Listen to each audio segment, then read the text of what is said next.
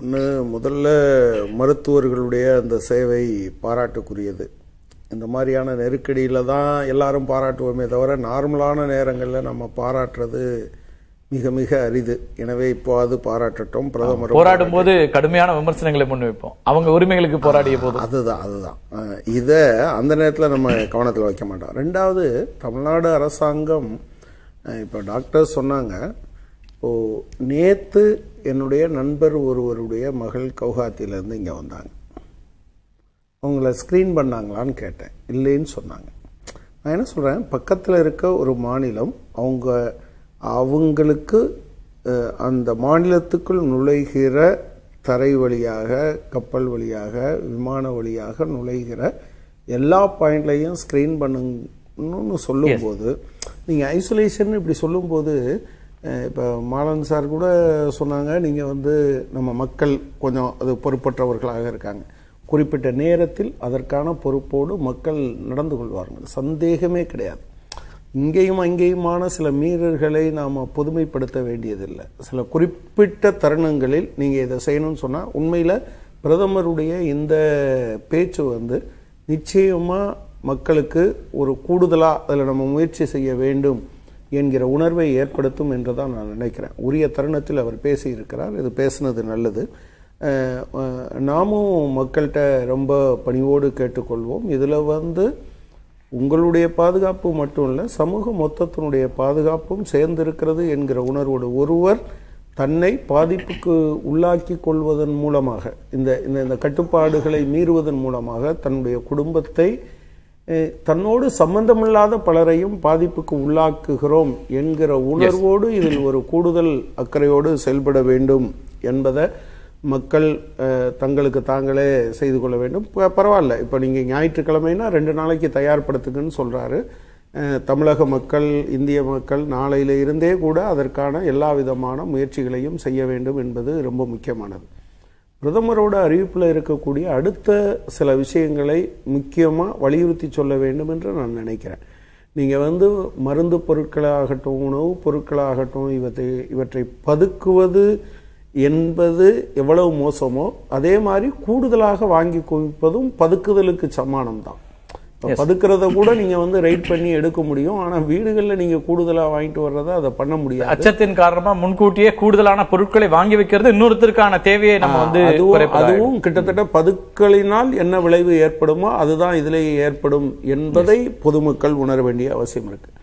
அடுத்து இந்த ஊதியம் குறித்து பேசுனதுல பிரதமர் கொஞ்சம் அதையும் இப்போது பேசி இருந்தால் நன்றாக இருக்கும் என்று நினைக்கிறேன். அதாவது ஆர்கனைஸ் செக்டார்ல இருக்கிறவங்க இந்த லீவோ அந்த லீவோ இன்னொரு வகையிலோ அவங்க போட முடியும். ஒரு கொஞ்சம் சேமிப்புகள் இருக்கக்கூடிய பகுதியும் இருக்கும்.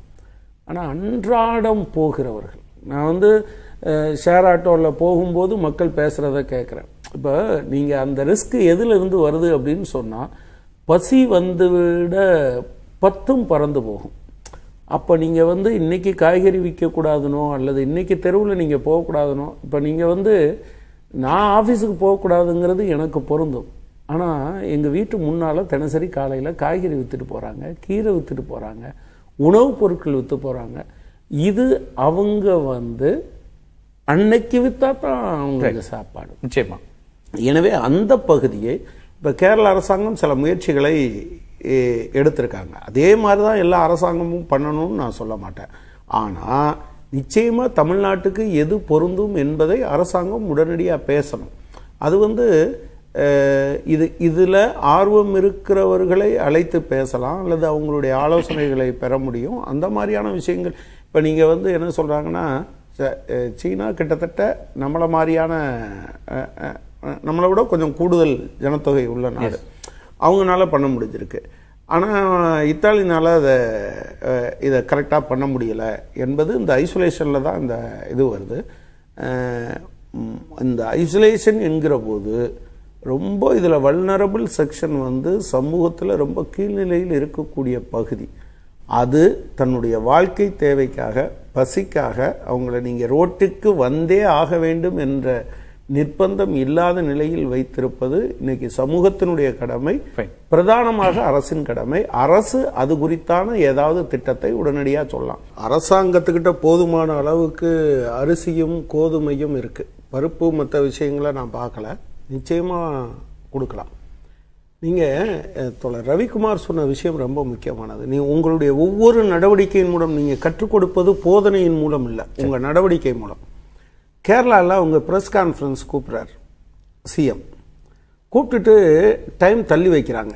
எதுக்கு டைம் தள்ளி வச்சாங்கன்னா இந்த கோவிட் புரோட்டோகால் பிரகாரம் ஜேர்னலிஸ்ட் எவ்வளோ தூரத்தில் உட்கார்ந்திருக்கணும் எப்படி இருக்கணும் என்று அந்த சீட்டிங் அரேஞ்ச்மெண்ட்டை பண்ணுறதுன்னு சொல்கிறாங்க இது உங்களுக்கு ஒவ்வொரு நிமிஷமும் நீங்கள் இதை ஒட்டியான சிந்தனையை உருவாக்கும். இந்த இருபதாயிரம் கோடி கூட அது மொத்தமெல்லாம் அவங்க அனௌன்ஸ் பண்ணல. குடும்பஸ்ரீ மூலமா Yeah, ரெண்டாயிரம் ஒவ்வொரு கொடுத்திருக்காங்க. இன்னொன்னு நான் இப்போ கூட பிரதமர் என்ன சொல்லியிருந்திருக்கலாம்னா என்பிஆர் சம்பந்தமாக இப்போ அந்த போராட்டத்தை நடத்துறவங்க எல்லாம் நிறுத்தி வச்சிருக்காங்க. நாங்களும் கூட அட்லீஸ்ட் இதை நிறுத்தி வைக்கிறோம். நீங்க அதனுடைய சீரியஸ்னஸை உங்களுடைய நடவடிக்கையின் மூலமாக சொல்வது போதனை சொல்வது கிடையாது. உங்கள் நீங்கள் எவ்வளவு சின்சியராக இருக்கீங்கிறத காமிக்கிறதுக்கு அது வந்து ரொம்ப முக்கியமானது. தொழில்துறையை பொறுத்தளவில் மாரட்டோரியம் இருக்கும் என்பதை பளிச்சுன்னு அரசாங்கம் உடனடியாக சொல்லணும். அப்படி ஒன்று இருந்தால் தான் இப்போ ஒரு பிரபு தாமோதரன் சொன்னார். அவர்னால பளிச்சுன்னு என்ன சொல்ல முடியலன்னா நான் இத்தனை நாளை கொடுப்பேன்னு சொல்ல முடியல. Yes. தா- ஏன்னா அவர் சொல்ல முடியாது. அவர் மட்டுமே சொல்ல முடியாது. எல்லாரோடும் சேர்ந்து பேசி தான் சொல்ல அவர் ஒரு ஒரு அசோசியேஷன்ல இருந்து ரெப்ரசென்ட் பண்ணும்போது இன்னொன்னு அவங்களுக்குமே கிளாரிட்டி இல்ல. Clarity. எவ்வளவு நாள் எப்படி இருக்கும் அப்படிங்கிற அப்போ கிளாரிட்டி அரசாங்கம் முன்கூட்டி சொல்லுச்சுன்னா நீங்க அவங்க எல்லாத்தையும் அனுப்பின பிறகு சம்பளம் கொடுக்காம போன பிறகு சொல்றதுக்கு பதிலா இப்பவே நீங்க முன்கூட்டி சொல்றது அப்படிங்கிறது ரொம்ப முக்கியமானது. அப்போ அதை அரசாங்கம் உடனடியாக சில விஷயங்களுக்கு முன்னெடுப்பு செய்யணும். எஸ்பெஷலி இப்போ நீங்கள் வந்து வீட்டை விட்டு வெளியே வராதீங்கன்னு சொன்ன பிறகு இப்போ ரேஷன் கடையவே கூட நீங்கள் கொஞ்சம் பேரை வச்சுக்கிட்டு வீட்டில் டெலிவர் பண்ணுறது உள்ளிட்ட அம்சங்களை பண்ணலாம். இன்னொன்று தமிழ்நாட்டை பொறுத்தளவில் நான் சொல்ல விரும்புறது வந்து ஒரு ஏபிள் அட்மினிஸ்ட்ரேஷன் பல நேரங்களில் ஒன்று தடுப்பதற்கும் உதவி இருக்கு. அல்லது நிவாரணங்களை சரியா செய்யறதுக்கும் உதவி இருக்கு. ஓகே. அஹ், நீங்க தமிழ்நாட்டில் இந்த கஜா புயல் வந்தபோது கொஞ்சம் ரொம்ப சிரமப்பட்ட க கஜா கஜா புயல் இல்ல. அதுக்கு முன்னால இங்க சென்னை இந்த பகுதியை மட்டும் அடிச்சது. அது என்ன புயல்? வர்தா. வரதா. புயல். ரொம்ப சிரமப்பட்டாங்க. ஆனா நீங்க பாத்தீங்கன்னா சம்பந்தமில்லாத அட்மினிஸ்ட்ரேஷன்ல இன்னொரு துறையில உங்களுக்கு ஆளுமை ரொம்ப திறமை உள்ளவரை கொண்டாந்து இதை பாருங்கள்லாம் நீங்க சொல்ல முடியாது. அப்ப அந்த மாதிரியான விஷயங்கள்ல தமிழ்நாடு அரசாங்கம் இப்போ ஒரு சின்ன சின்ன நடவடிக்கை எடுத்திருக்கிறது மாதிரி இருக்கு. ஆனா இன்னும் கூடுதலாக அதுல அவங்க கவனம் செலுத்த வேண்டும் என்று நான் சொல்ல விரும்புறேன். இன்னொன்னு இந்த கேரளா பண்ணியிருக்கக்கூடிய ஒரு மெத்தடை அவங்க நம்ம தமிழ்நாடு அரசாங்கம் யோசிக்கலாம். இப்போ நீங்கள் டாக்டர் வந்து எல்லாம் நல்லா இருக்குன்னு அவர் வேற என்ன சொல்ல முடியும்? ஆனால் ஸ்க்ரீனிங் நேற்று வரை நடக்கலை. நாளைக்கு நடக்குங்கிறது இல்லை ஏன் நேற்று வர ட்ரெயினில் ஸ்க்ரீனிங் நடக்கலை? நேற்று வர விமானத்தில் அவர் பாவம் அவர் ஒன்றும் அதை தாண்டி சொல்ல முடியாது. ஓகே. இந்த அஹ், இப்போ நமக்கு வந்து நிறையா அது என்னது இன்டர்நெட் கனெக்டிவிட்டி இருக்கிற இடங்கள்லயாவது இந்த டாக்டர்களோட பேசுறது. இப்போ ஒரு சின்ன அளவுக்கான எனக்கு ஒரு பிரச்சனை இருக்கு.